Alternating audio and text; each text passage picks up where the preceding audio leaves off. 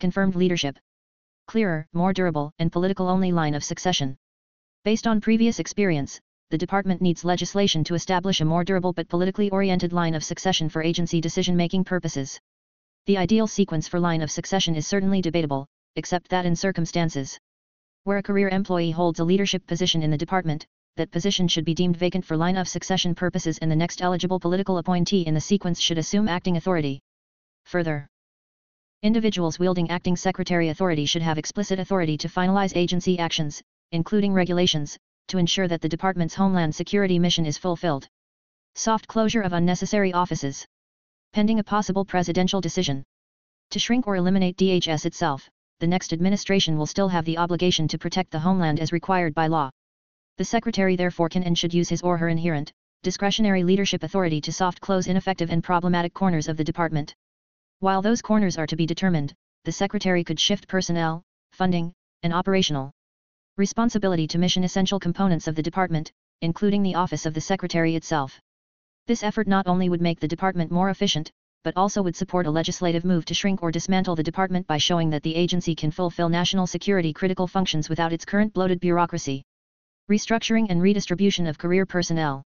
To strengthen political decision-making and ensure that taxpayer dollars are being used legally and efficiently, the Secretary should make major changes in the distribution of career personnel throughout the department.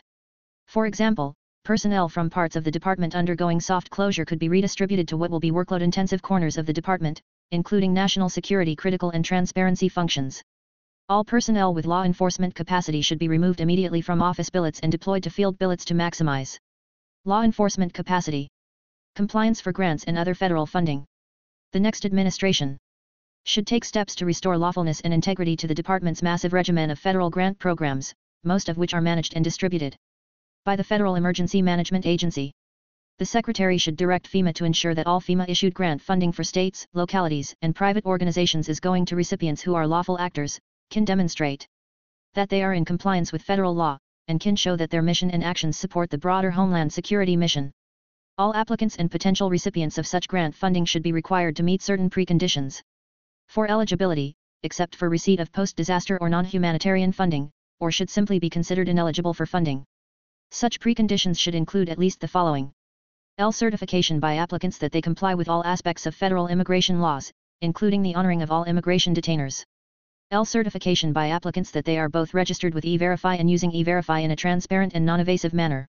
For states and localities, that would include certification that all components of that government, and not just the applicant agency, are registered with and use E-Verify. L if the applicant is a state or locality, commitment by that state or locality to total information sharing in the context of both federal law enforcement and immigration enforcement. This would include access to Department of Motor Vehicles and voter registration databases. Non-use of discretionary guest worker visa authorities.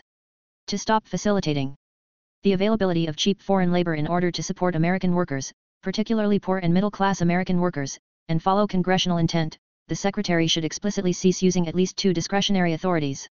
As part of his or her broader effort to support American workers. L. The Secretary should make it clear that he or she will not use the Secretary's existing discretionary authority to increase the number of H-2B, seasonal non-agricultural, visas above the statutorily set cap. L. The Secretary should not issue any regulations in support of the H-2 eligible country list, the effect of which would prevent favoring certain foreign nationals seeking an H-2 guest worker visa based simply on their nationality. Restoration of honesty and transparency. The Secretary should use his or her inherent authority as leader of the department to follow up with congressional and other partners to disclose information and provide the transparency that has been obstructed during the Biden administration. The Secretary should proceed from the assumption that congressional inquiries and public information requests were unfulfilled and then seek to fulfill them. Replacement of the entire Homeland Security Advisory Committee. The Secretary should plan to quickly remove all current members of the Homeland Security Advisory Committee and replace them as quickly as is feasible. U.S. Customs and Border Protection, CBP. If all immigration agencies are not merged, including USCIS and OR, then an appropriate third alternative would be to consolidate ICE and CBP to form a combined Border Security and Immigration Agency, BSIA. This would integrate critical interdiction, enforcement, and investigative resources, enhancing coordination and refocusing collective efforts on the vast and complex cross-border threats impacting our nation's health, safety, and national security. It would also simultaneously add efficiencies to our nation's capacity to facilitate lawful trade and travel. The BSIA should establish clear mission requirements, responsibilities, and mandates under existing law regarding the persistent need for and utilization of U.S. military personnel and resources to assist BSIA with increasing whole of government efforts and long-term strategy to secure our nation's borders effectively. In addition, appropriate elements within the newly created BSIA should be designated as part of the U.S. national security and intelligence community. A conservative administration should eliminate any prohibitive guidance, direction, or mandate from DHS or the administration that curtails or limits CBP from publishing detailed border security and enforcement data not impacting intelligence, interdiction, and investigative operations, methods, or sources. DHS should issue a regulation mandating that CBP publish accurate and timely border security data, readily available to the public, on a regular basis that avoid White House and DHS leadership review and approval the White House should grant the authority for CBP and DHS executives to utilize component aviation assets under the Office of Air and Marine, OAM. CBP and DHS have worldwide missions with personnel and facilities that are deployed across the globe and in every state in the U.S. With a CBP workforce alone of more than 60,000 people, 240,000 plus for DHS, encompassing more than 1,000 sea, land, and airports, it is essential that the Commissioner, Deputy Commissioner, Secretary, and Deputy Secretary can travel efficiently to facilities to maintain appropriate situational awareness across the Department's vast mission set and interact with the expansive workforce. Although CBP operates one of the largest aviation components of any domestic U.S. law enforcement agency, executives are prohibited from utilizing the agency's aviation assets to facilitate official travel. Executives are required to fly on commercial airlines, and this requirement significantly limits their ability to have classified communications and takes them offline for extended periods of time. Border Patrol, BP, and OAM should be combined within CBP. BP has more than 20,000 personnel, and OAM has approximately 1,800. OAM's assets are dedicated in support of BP operations the vast majority of the time, yet redundant approvals, strategies, and independent hierarchical commands serve as impediments to efficient and practical resource deployments. CBP should restart and expand use of the horseback-mounted border patrol. As part of this announcement, the Secretary should clear the records and personnel files of those who were falsely accused by Secretary Alejandro Mayorkas of whipping migrants and issue a formal apology on behalf of DHS and CBP. The Secretary should combine the Office of Trade, OT, and Trade Relations with the Office of Field Operations, OFO. The OT is the smallest of CBP's components. And its operational counterpart, OFO, has a workforce of more than 30,000. OT's function is interwoven with that of its OFO operational counterpart. Combining OT with OFO would achieve streamlined operations and increase OT's capacity and capability by leveraging OFO's expansive resources. CBP, ICE, and USCIS all have authority to issue notices to appear, NTA, to removable aliens in their presence, which begins removal proceedings. In most instances, CBP should turn illegal aliens over to ICE for detention, and ICE can then issue any needed NTA. CBP should issue NTAs only in limited situations for humanitarian reasons, such as medical emergencies. In addition, CBP should eliminate use of notices to report, NTR, altogether. CBP's established national standards of transport, escort, detention, and search, TEDS, have been widely interpreted and expanded by lower courts. This has resulted in unrealistic and differing detention standards for CBP facilities based on the jurisdiction within which they fall, negatively impacting operations. ICE has suffered similarly. A single nationwide detention standard should be codified that prevents individual states from mandating that federal government agencies adhere to widely expansive and ever-changing sets of standards. Such standards should allow the flexibility to use large numbers of temporary facilities such as tents. The annual costs associated with establishing and maintaining temporary facilities to address the flow of illegal migration and associated care, transportation, and processing are prohibitive, and CBP's budget is inadequate. CBP is forced to forego critical mission essential endeavors to fund the additional associated costs. Often, this requires the reprogramming of funding at the DHS level, which has a negative impact on other DHS components operations. This predictable cost that has to be paid from existing CBP and DHS funding levels reduces CBP's operational readiness and ability to accomplish its diverse and critical missions to protect the American people. The next president should request a realistic budget that fully pays for these costs. Increased funding is needed for BP to hire additional support personnel, which would relieve uniformed BP agents from administrative duties associated with processing aliens and allow them to return to their national security mission. Congress should increase funding for facility upgrades at strategic land ports of entry, POS, including expanding state-of-the-art technology such as non-intrusive inspection equipment. Today, the cartels exploit the aging facilities and lack of adequate technology to smuggle illicit drugs, contraband, and more successfully through our nation's POS. U.S. Immigration and Customs Enforcement, ICE. Needed reforms. Since the formation of DHS, ICE has increasingly been tasked with auxiliary missions that have little or nothing to do with either immigration or customs. Enforcement To return ICE to its primary mission, any new administration that wishes to restore the rule of law to our immigration enforcement efforts should L. Order ICE to stop closing out pending immigration cases and apply the Immigration and Nationality Act, INA, as written by Congress. Point 3 The Biden administration closed out tens of thousands of immigration cases that had already been prepared and were slated for expedited removal processing or hearings before the U.S. Immigration Court. This misguided action constituted an egregious example of lawlessness that allowed thousands of illegal aliens and other immigration violators to go free in the United States. L. Direct ICE to stop ignoring criminal aliens identified through the 287 G program. Point 4 Ultimately, Congress should prevent ICE from ignoring criminal aliens identified by local law enforcement agencies that are partners in the 287 G program. However, before congressional action, ICE should be directed to take custody of all aliens with records for felonies, crimes of violence, DUIs, previous removals, and any other crime that is considered a national security or public safety threat as defined under current laws. L. Eliminate T and U visas. Victimization should not be a basis for an immigration benefit. If an alien who was a trafficking or crime victim is actively and significantly cooperating with law enforcement as a witness, the S visa is already available and should be used. Pending elimination of the T and U visas, the Secretary should significantly restrict eligibility for each visa to prevent fraud. L. Issue clear guidance regarding detention and bond for aliens. Thousands of illegal aliens are allowed to bond out of immigration detention only to disappear into the interior of the United States where many commit crimes and many others disappear, never to be heard from again. This occurs primarily because of poorly worded bond regulations, contradictory bond policy memoranda, and poor practices for managing released aliens and the Alternatives to Detention ATD, program, which requires significant reform. L. Prioritize national security in the Student and Exchange Visitor Program, SEVP. ICE should end its current cozy deference to educational institutions and remove security risks from the program. This requires working with the Department of State to eliminate or significantly reduce the number of visas issued to foreign students from enemy nations. Most of the foregoing can be accomplished rapidly and effectively through executive action that is both lawful and appropriate.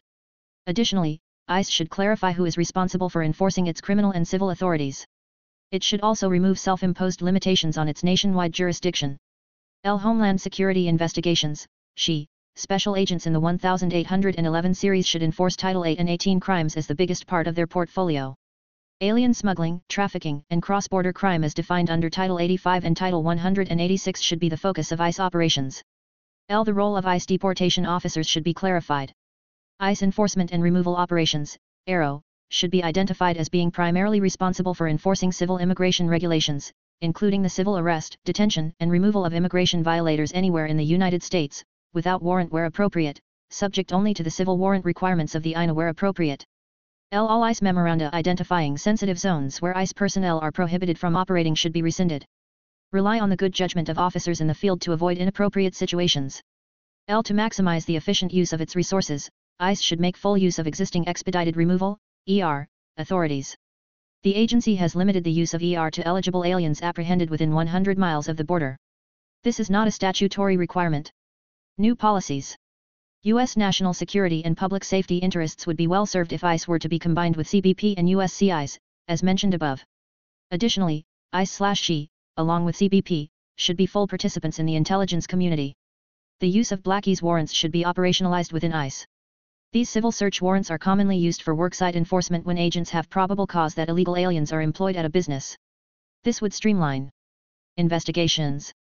Safeguarding Americans will require not just securing the border, but continuous vetting and investigations of many aliens who exploited President Biden's open border for potentially nefarious purposes, including some Afghan evacuees sent directly to the U.S. during America's disastrous withdrawal from Afghanistan. Budget L. Congress should mandate and fund additional bed space for alien detainees.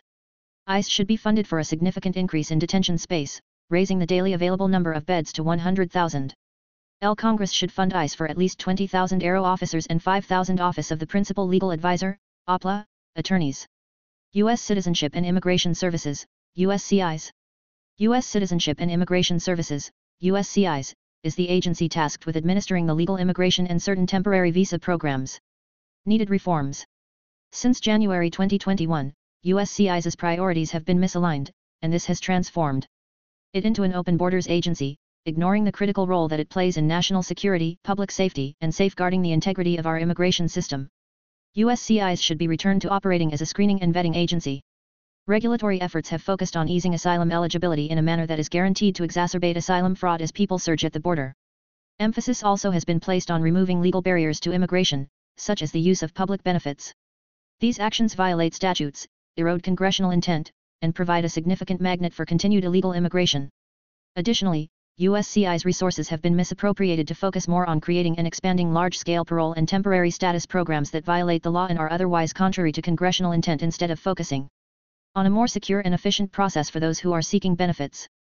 The ever-increasing number of applications filed has made it difficult to vet applications adequately for eligibility, fraud, and specific national security and public safety problems. The Fraud Detection and National Security Directorate, FDNS, is currently a small directorate with assigned officers reporting through the chain of command in the field, and this has led to stovepiping, lack of coordination in national policy, and inconsistencies throughout the agency. To prioritize vetting and fraud detection, FDNS should undergo a structural shift focused on direct reporting from the field to headquarters, reclassification of leadership, and FDNS directives taking precedence over those of other component entities. Correcting the current misalignment of agency priorities and resources should begin with this primary shift in focus to vetting and fraud detection.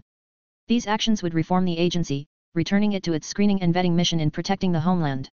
Other structural changes should include re-implementation of the USCIS denaturalization unit an effort to maintain integrity in the system by identifying and prosecuting criminal and civil denaturalization cases, in combination with the Department of Justice, for aliens who obtain citizenship through fraud or other illicit means.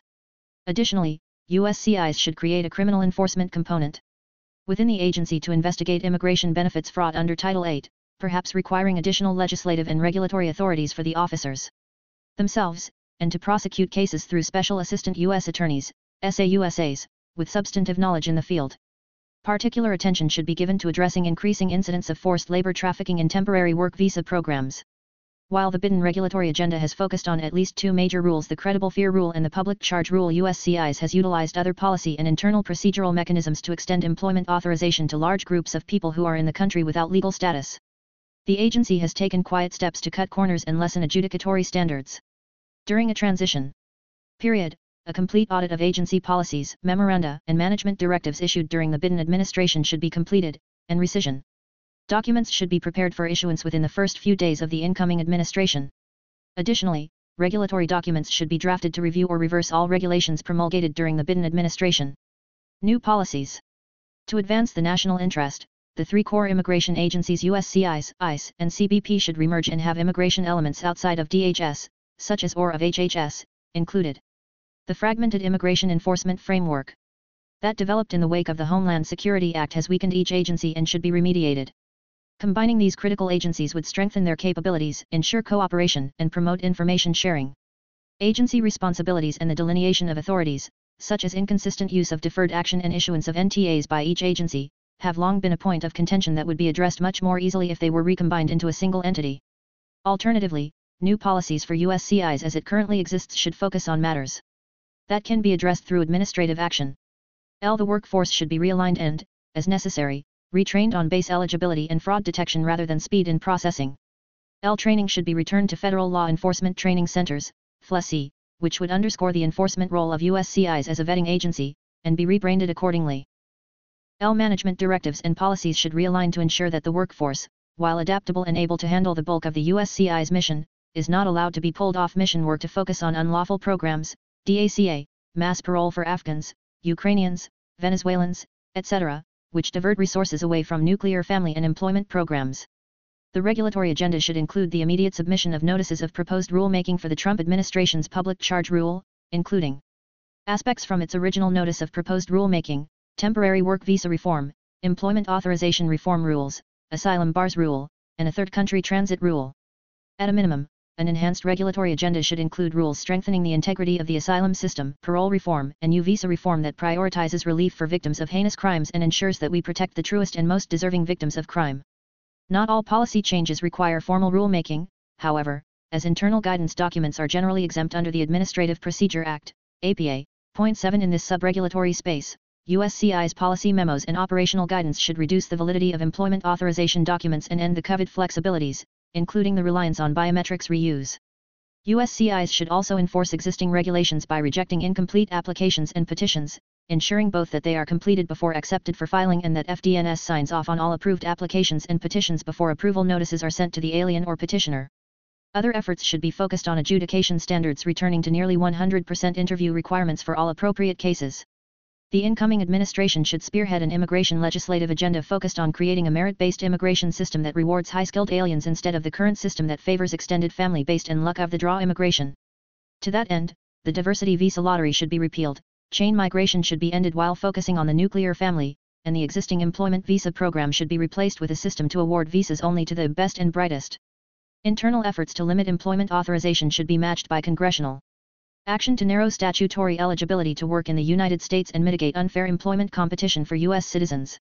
The oft-abused H-1B program should be transformed into an elite program through which employers are vying to bring in only the top foreign workers at the highest wages so as not to depress American opportunities. Additionally, Congress should L. Improve the integrity of the temporary work visa programs. L. Repeal temporary protected status, TPS, designations. L. Permanently authorize and make mandatory e-verify, and L. End parole abuse by legislating specific parole standards. USCIS should make it clear that where no court jurisdiction exists, it will not honor court decisions that seek to undermine regulatory and sub-regulatory efforts. Finally, USCIS still requires access to all relevant national security and law enforcement databases in the same vein as any other agency in the intelligence space. This is a key concept that should be addressed as USCIS is returned to functioning primarily as a vetting agency.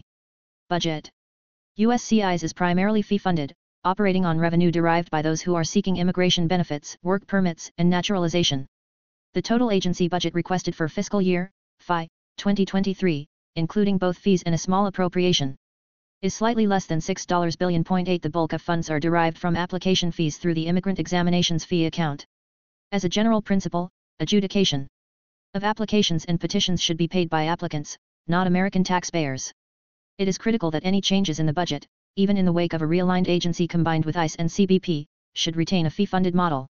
Given the Obama and Biden administration's lack of will, fees should be increased agency-wide to keep in step with inflation and the true cost of the adjudications. The incoming administration should immediately submit a fee rule that reflects such an increase. Aside from an increase in all fees, the rule should drastically limit the availability for fee waivers and should implement a fee for asylum applications. Additionally, Congress should allow for a 10% across-the-board increase in all fees for all fee rules to account for the fact that new fee rules always lag behind budget requirements. USCIS should strive to increase opportunities for premium processing, a benefit by which applicants can expedite their processing times. While this places time burdens on adjudicators, it provides an opportunity for a significant influx of money into the agency, which is not currently available. While simply raising fees to the necessary levels to make the agency run efficiently would be preferable. Without the need for expanded premium processing, this short-term measure should be utilized, particularly if longer-term fee rules are unsuccessful. At least until USCIS is caught up on all case backlogs, all applicants rejected for any benefit or status adjudication should be required to leave the U.S. immediately. Ordinary process can resume once all case backlogs have been adjudicated. Finally, USCIS should pause the intake of applications in a benefit category when backlogs in that category become excessive. Once USCIS adjudicators can decrease that caseload to a manageable number, application intake should resume. Personnel USCIS should be classified as a national security sensitive agency, and all of its employees should be classified as holding national security sensitive positions. Leaks must be investigated and punished as they would be in a national security agency, and the union should be decertified. Any employees who cannot accept that change and cannot conform their behavior to the standards required by such an agency should be separated. USCIS's DC personnel presence should be skeletal, and agency employees with operational or security roles should be rotated out to offices throughout the United States. These USCIS employees should live and work in the communities that are most affected by their daily duties and decisions. Necessary border and immigration statutory, regulatory, and administrative changes. The current border security crisis was made possible by glaring loopholes in our immigration system. The result was a preventable and predictable historic increase in illegal and inadmissible encounters along our southern border. This pulled limited resources from the front lines of our nation's borders and away from their national security mission, releasing a vast and complex set of threats into our country. To regain our sovereignty, integrity, and security, Congress must pass meaningful legislation to close the current loopholes and prevent future administrations from exploiting them for political gain or personal ideology. Legislative Proposals L. Title 42 Authority in Title 8 create an authority akin to the Title 42 Public Health Authority that has been used during the COVID-19 pandemic to expel illegal aliens across the border immediately when certain non-health conditions are met, such as loss of operational control of the border. L. Mandatory appropriation for border wall system infrastructure. The monies appropriated would be used to fund the construction of additional border wall systems, technology, and personnel in strategic locations in accordance with the Border Security Improvement Plan, BSIP. L. Appropriation for port of entry infrastructure. Border security is not addressed solely by systems in between the ports of entry. POs require technology and physical upgrades as well as an influx of personnel to meet capacity demands and act as the literal gatekeepers for the country. This is the first line of defense against drug and human smuggling operations. L. Unaccompanied minors. 1. Congress should repeal Section 235 of the William Wilberforce Trafficking Victims Protection Reauthorization Act of 2008, TIFPRA, 9 which provides numerous immigration benefits to unaccompanied alien children and only encourages more parents to send their children across the border illegally and unaccompanied. These children too often become trafficking victims, which means that the TIFPRA has failed. 2. If an alternative to repealing Section 235 of the TIFPRA is necessary, the section should be amended so that all unaccompanied children, regardless of nationality, may be returned to their home countries in a safe and efficient manner.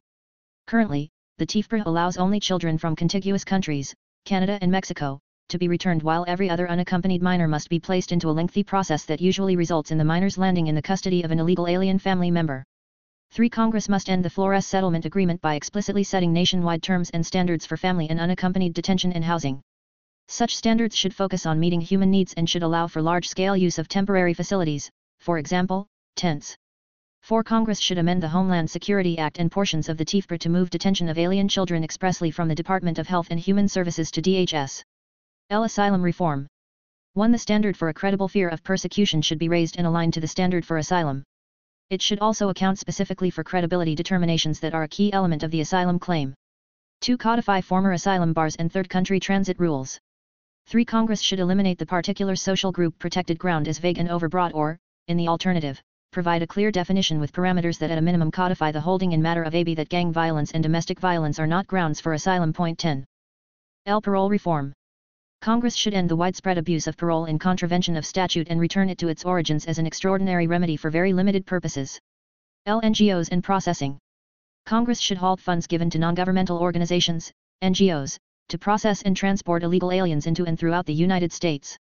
Such funds and infrastructure, including the DHS Joint Processing Centers, should be redirected to secure the border, detain aliens, and provide space for immigration court proceedings. L. Other pathways for border crossers. While Congress should use its oversight authority to ensure that expedited removal is used to the fullest extent and followed to the letter of the law, other paths for border crossers should be included in a legislative package. 1. Migrant Protection Protocols. Update the statutory language providing the basis for the Remain in Mexico program as needed to withstand judicial scrutiny and executive inaction. 2. Asylum Cooperative Agreements. While the agreements themselves must be negotiated, Congress should mandate that the executive branch work faithfully to negotiate and execute ACAS and set parameters to ensure that an unwilling executive cannot renege on an existing agreement or abandon the effort. 3. Other expedited pathways. Congress should explicitly permit programs akin to the Prompt Asylum Claim Review, PACR, and Humanitarian Asylum Review Process, HARP, programs. L. Employment Authorization. 1. Congress should reassert control of employment authorization, which is subject to rampant regulatory abuse, and limit it to certain categories of legal immigrants and non-immigrants.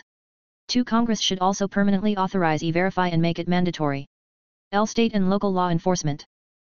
1. Congress should unequivocally authorize state and local law enforcement to participate in immigration and border security actions in compliance with Arizona v. United States. Point 11.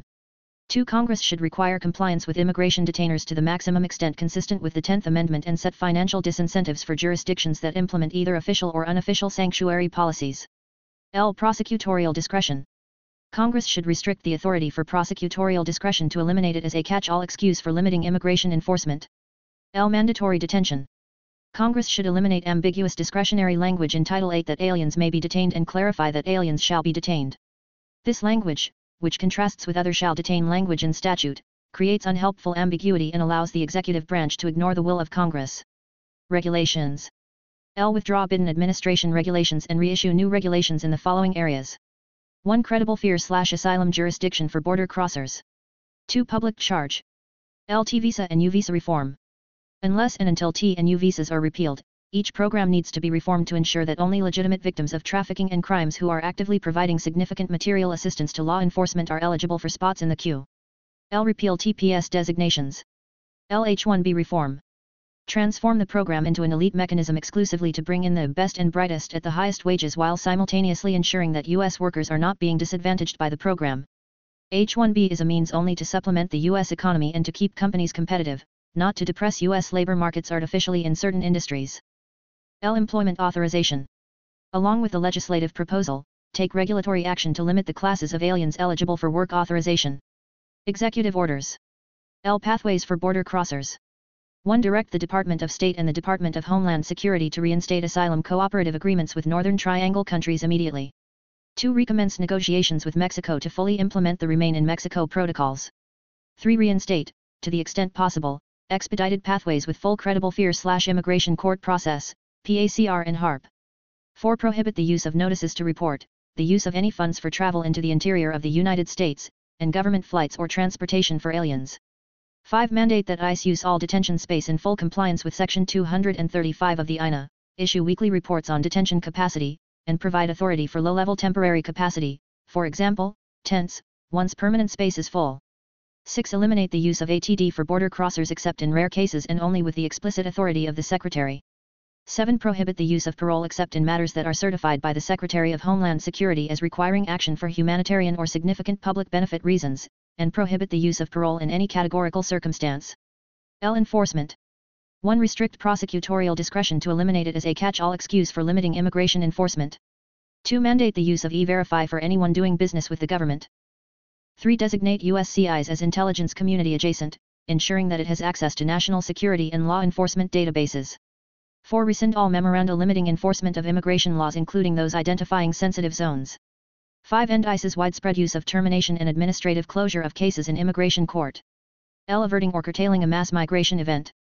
1. Provide that whenever the Secretary of Homeland Security determines that an actual or anticipated mass migration of aliens en route to or arriving off the coast of the U.S. presents urgent circumstances requiring an immediate federal response, the Secretary may make, subject to the approval of the President, rules and regulations prohibiting in whole or in part the introduction of persons from such countries or places as he or she shall designate in order to avert or curtail such mass migration and for such period of time as is deemed necessary, including through the expulsion of such aliens.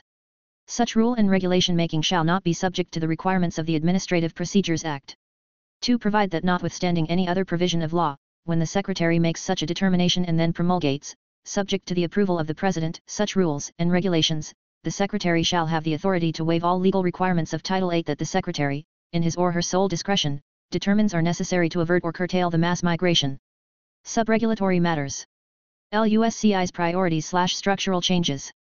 1. Ensure that focus is returned to vetting, base eligibility of applicants, and fraud detection. 2. Realign the Fraud Detection and National Security Directorate, FDNS, to ensure agency-wide consistency on implementation of fraud detection and vetting policies. 3. Review and repeal any internal agency memo that is inconsistent with the priorities described in this chapter.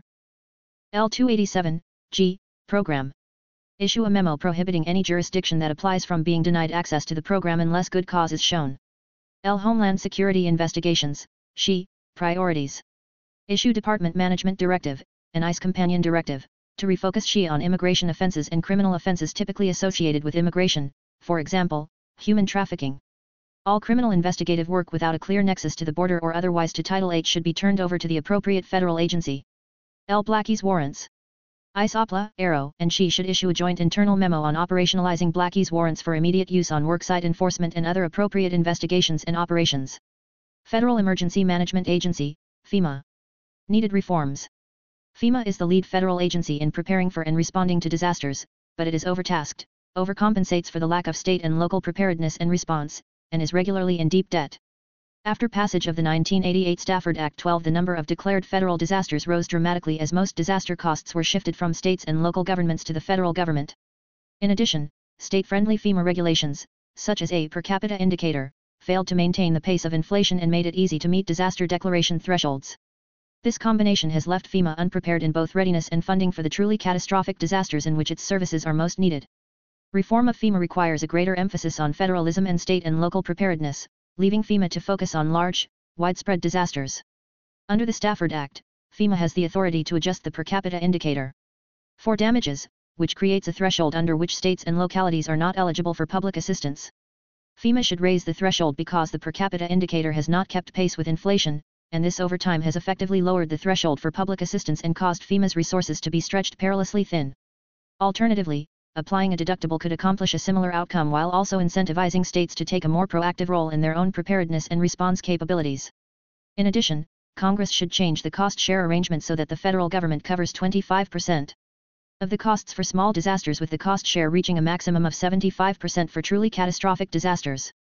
FEMA is also responsible for the National Flood Insurance Program, NFIP, nearly all of which is issued by the federal government.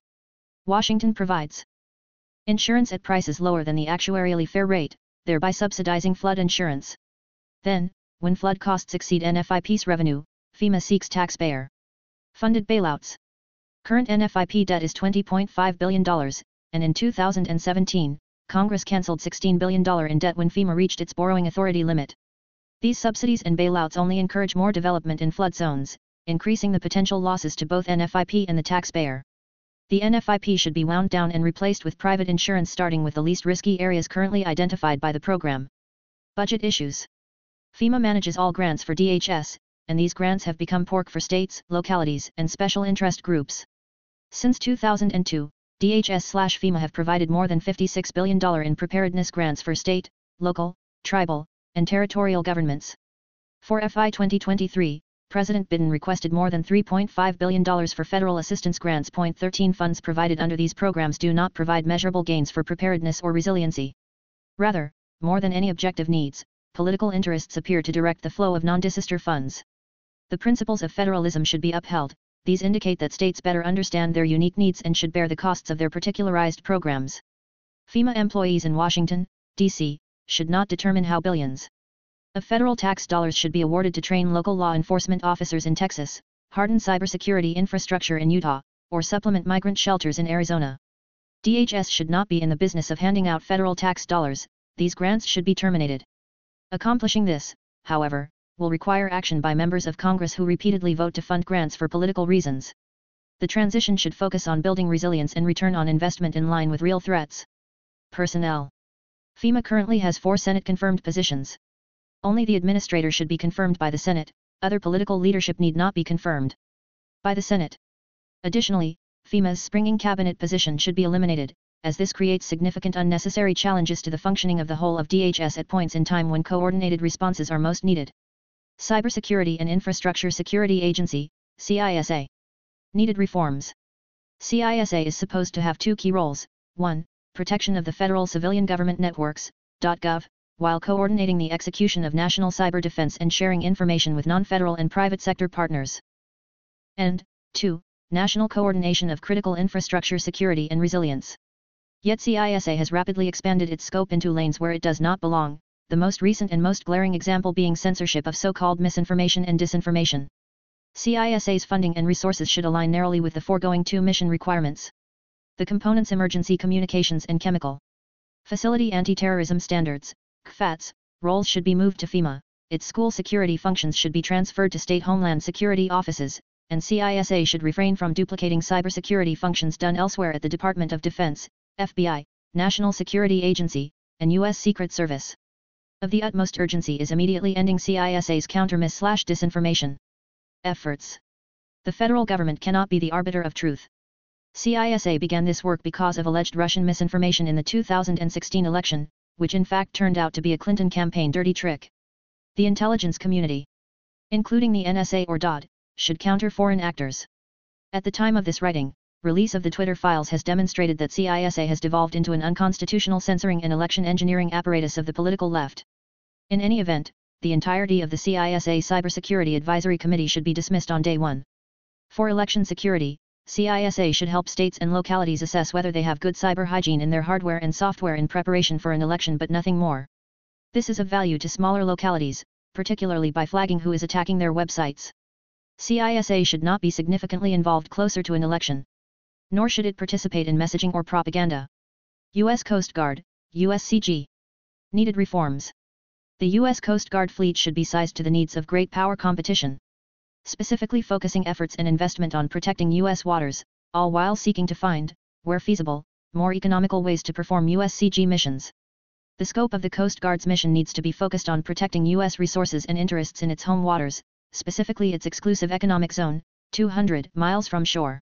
USCG's budget should address the growing demand for it to address the increasing threat from the Chinese fishing fleet in home waters as well as narcotics and migrant flows in the Caribbean and Eastern Pacific.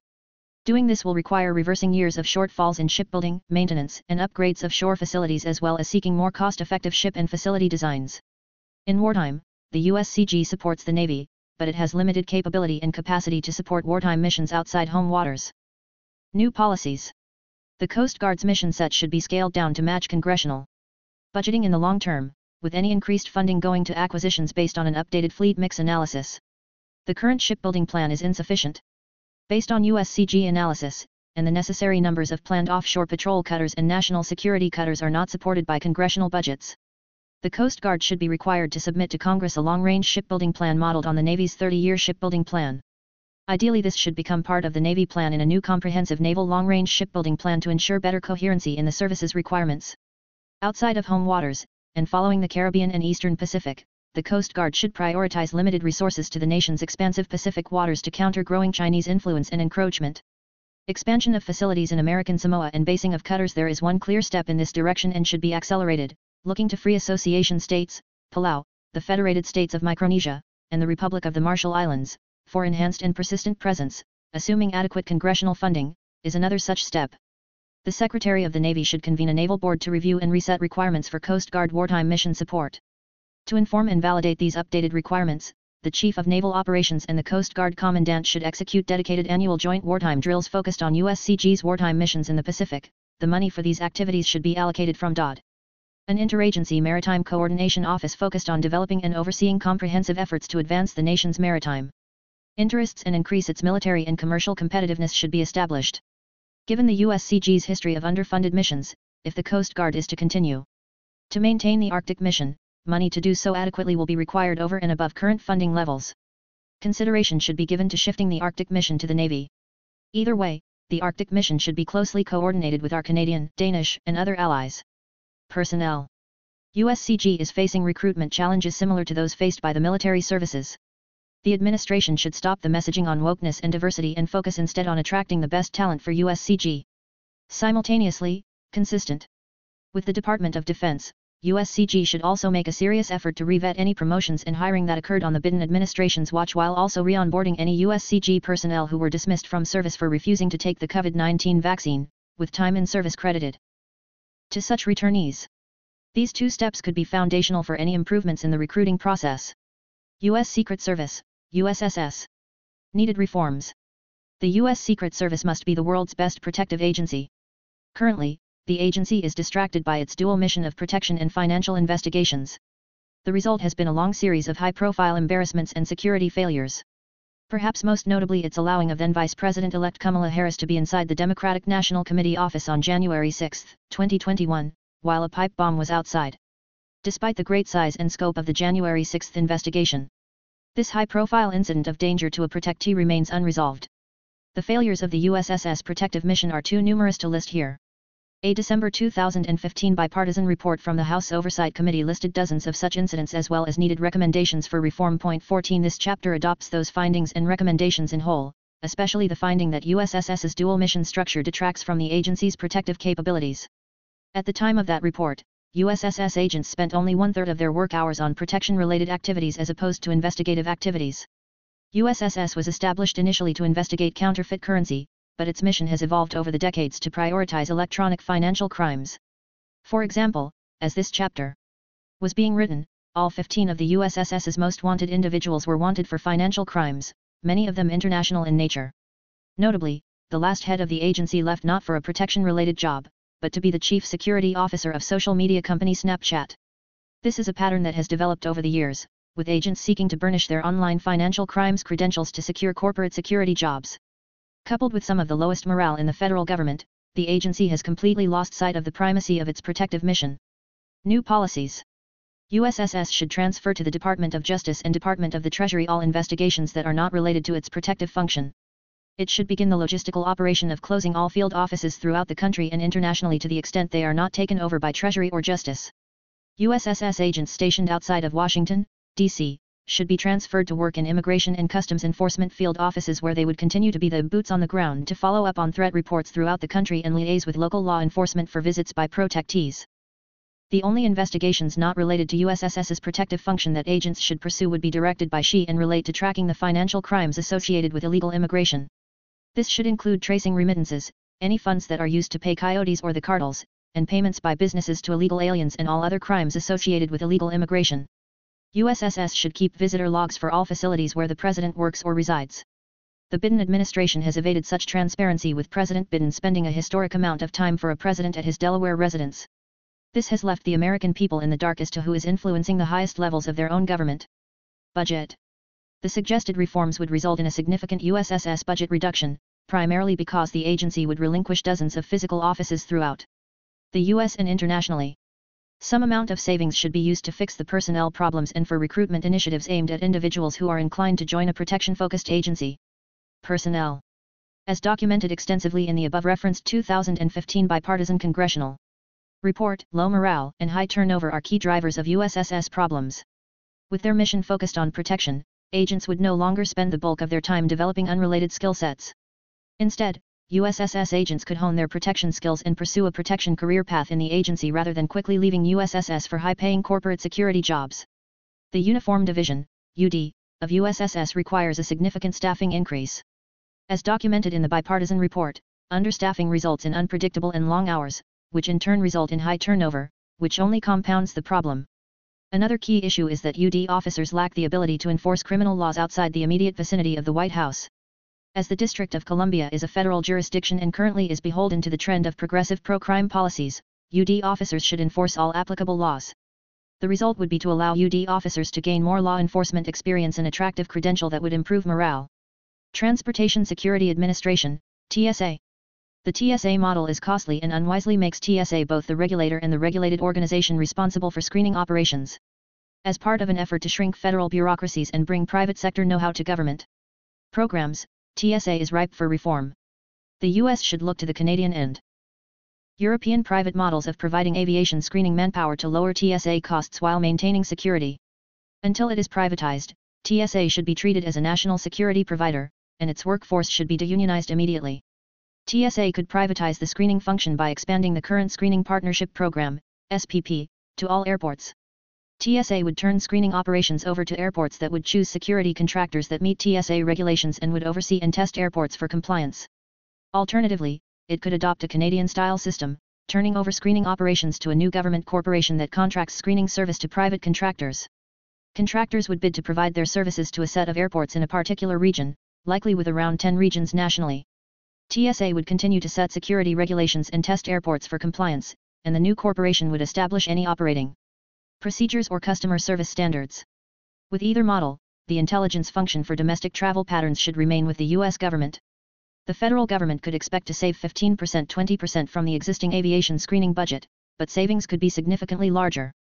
Service to travelers should also improve.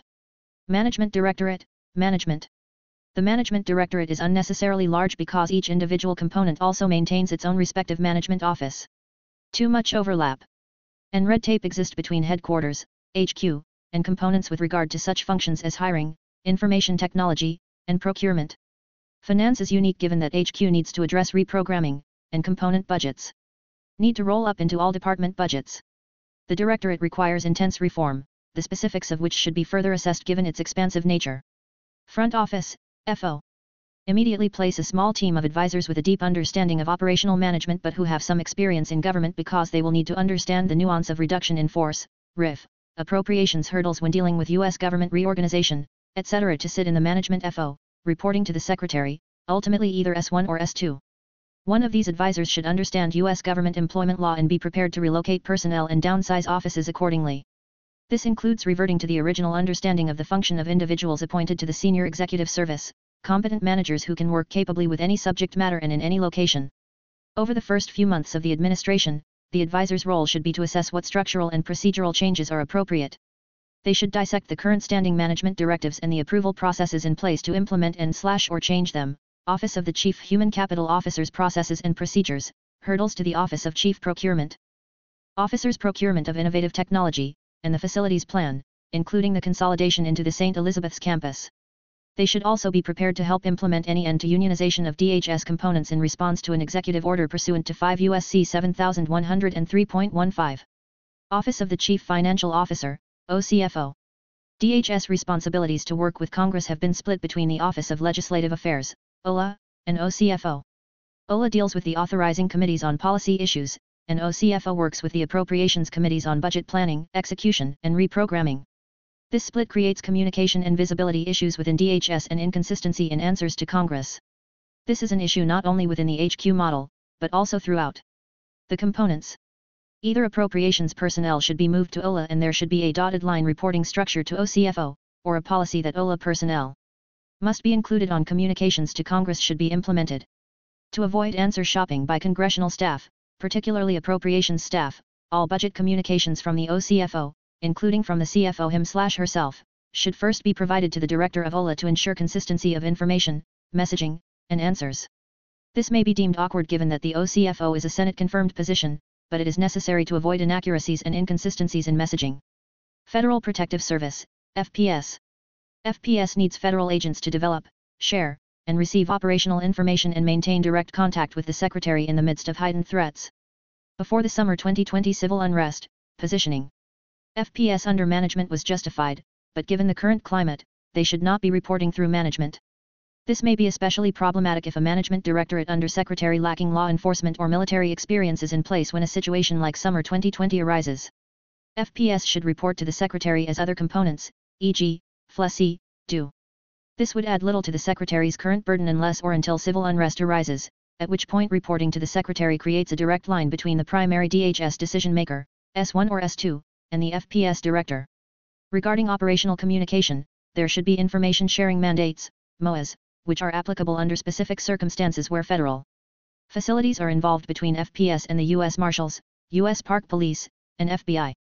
Agreements with U.S. Capitol Police and Supreme Court Police should also be considered, but it is noteworthy that those entities are jurisdictionally outside of the executive branch. Office of Strategy, Policy, and Plans, PLCY. Department level reforms. PLCY should perform a complete inventory, analysis, and re-evaluation of the department's domestic terrorism lines of effort to ensure that they are consistent with the President's priorities, congressional authorization, and Americans' constitutional rights.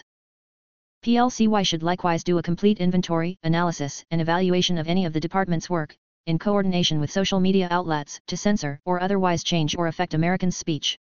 PLCY should comprehensively report on and publish this history in full so that the American people can know the facts the department should remove all personnel who participated in any of this activity.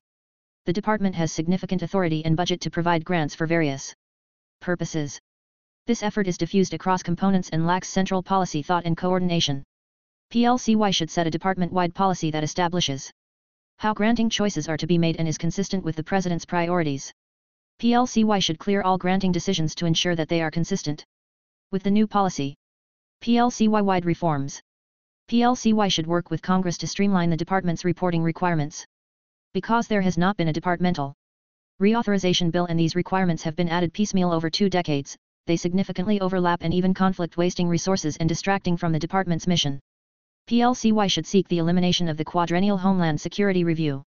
Issue area reforms. PLCY should bolster its immigration statistics program and make it the one-stop shop for the timely production of all department immigration statistics and analysis. Office of Intelligence and Analysis, I&A.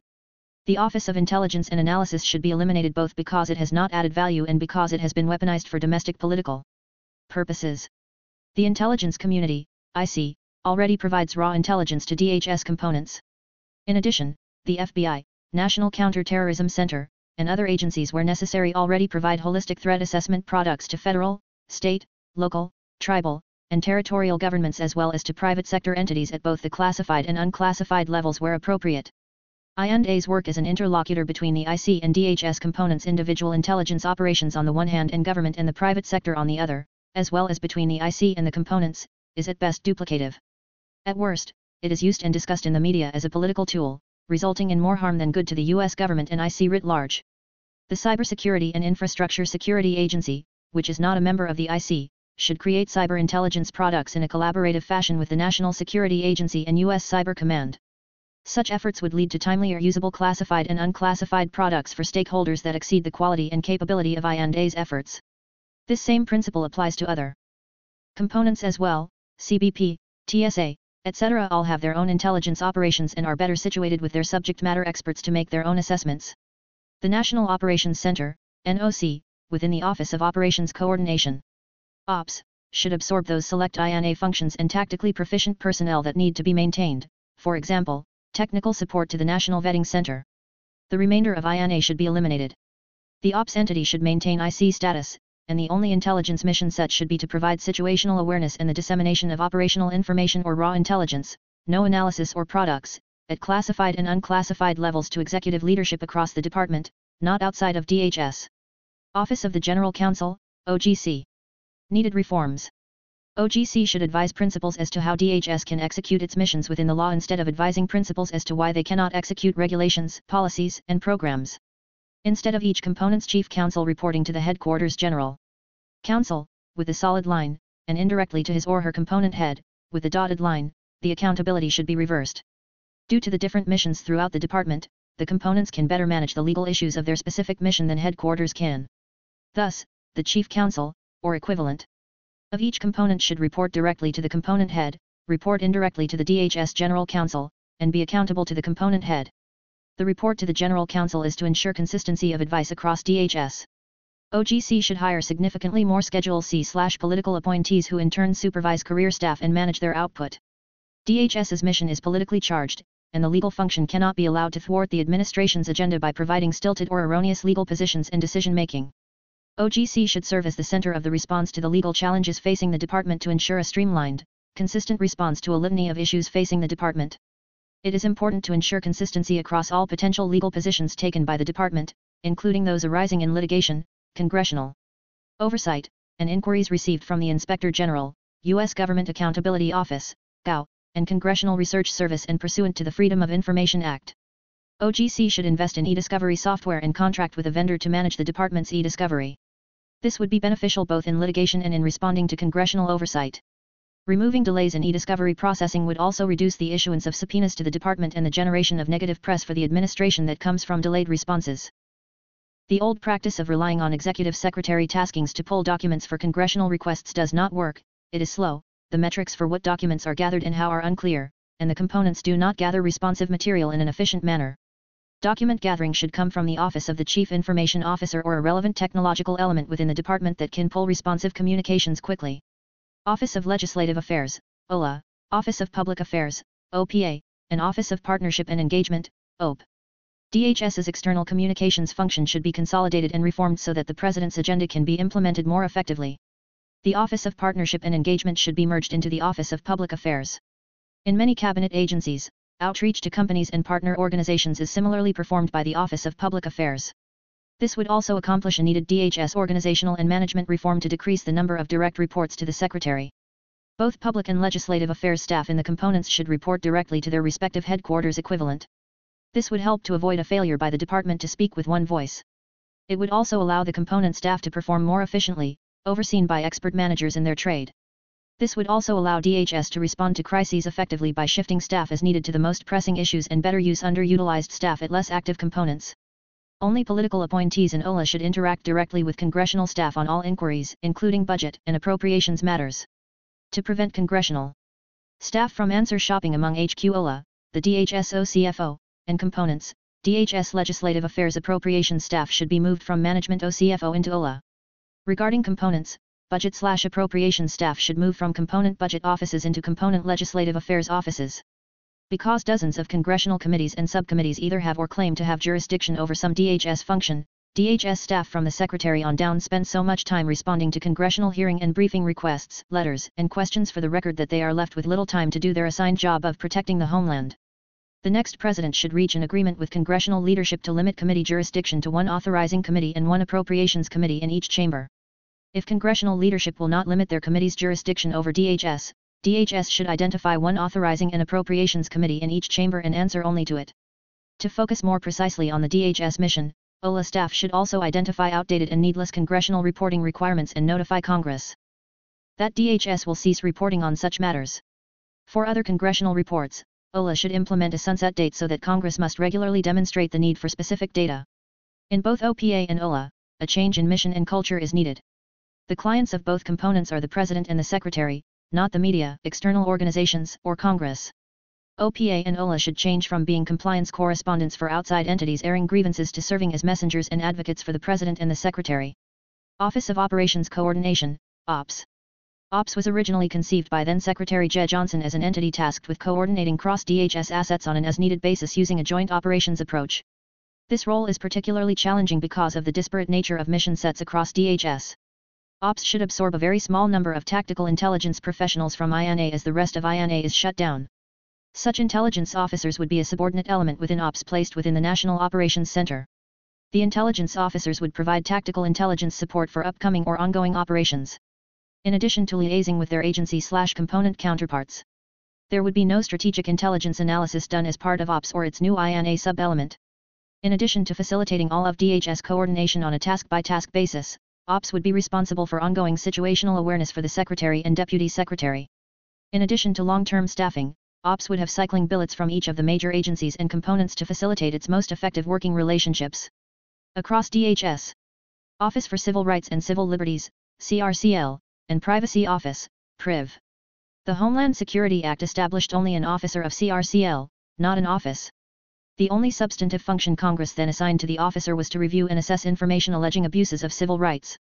Since then, Congress and CRCL itself have significantly expanded CRCL's scope and size well beyond its original intent or helpful purpose. CRCL now operates and views itself as a quasi-DHS Office of Inspector General. This results in a considerable waste of limited component resources, which are routinely tasked to address redundant, overly burdensome, and uninformed demands from CRCL. It is therefore important to recalibrate CRCL scope and reach. The organizational structure of both CRCL and the Privacy Office should be changed to ensure proper alignment with the department's mission. The Office of General Counsel should absorb both CRCL's and PRIV's necessary functions and staff. Although the CRCL officer and the Freedom of Information Act, FOIA, officer-slash-privacy officer are statutory, their offices are not mandatory. CRCL and PRIV officers and employees should report to a Deputy General Counsel, who would be a political appointee. The CRCL officer should focus on equal employment opportunity, EEO, compliance and the civil liberties function and investigate matters only within headquarters or support components. Operational components Civil Liberties Officers should investigate incidents regarding their own agencies. The CRCL officer should ensure that all civil liberties or civil rights complaints are sent to the Office of Inspector General, OIG, for review. If the OIG chooses not to investigate, the CRCL officer should only provide supportive information on possible courses of action for complainants. The PRIV officer and FOIA officer should focus on FOIA, privacy compliance policy, and privacy incident response the Deputy General Counsel should provide guidance to DHS leadership regarding privacy compliance and privacy incident response. To ensure that only U.S. persons and lawful permanent residents are provided protections as required by the Privacy Act, all DHS issuances should be updated to reflect that DHS protects the privacy of individuals as required by the Privacy Act, U.S. persons and lawful permanent residents, 16 the Judicial Redress Act of 2015, 17 and any U.S. European Union Data Protection and Privacy Agreement. Because of the lack of public trust in the Office of Intelligence and Analysis CRCL, and PRIV staff should no longer review intelligence products or provide guidance on any intelligence products or reports. A consistent, clear, and singular message is necessary for DHS's mission. Therefore, all communications and slash or meetings with any federal, state, local, or non-government groups should be limited to the Deputy General Counsel. In addition, given the narrower scope of work, OGC should disband the outside advisory boards and the more than 50 working groups in which CRCL and PRIV currently participate. Finally, CRCL and PRIV should no longer issue bulletins or periodicals. Office of the Immigration Detention Ombudsman, OIDO, and Office of the Citizenship and Immigration Services Ombudsman, CISOM. OIDO. The Office of the Immigration Detention Ombudsman should be eliminated. This requires a statutory change in Section 106 of the Consolidated Appropriations Act of 2020.18. OIDO was designed to create another impediment to detention through an additional layer of so-called oversight. Several agencies already perform detention oversight. ICE conducts internal audits of facilities and investigates complaints against ICE agents through the Office of Professional Responsibility. Similarly, CBP accepts individual complaints regarding facilities through the Joint Intake Center and manages complaints against agents through the OPR. In addition, CRCL, OIG, GAO, and Congress all perform detention oversight. These multiple bodies place unmanageable and unreasonable burdens on ICE to manage several sometimes inconsistent audits slash inspections at the same time. If OIDO remains a DHS component, the Secretary should immediately issue a directive. Stripping CRCL of its immigration portfolio. OIDO is in a better position with dedicated resources and immigration experts to perform this function than CRCL is. Allowing both offices to conduct detention oversight is duplicative and wasteful. The Secretary should conduct a thorough review of the effectiveness of Directive 0810.1, 19 which is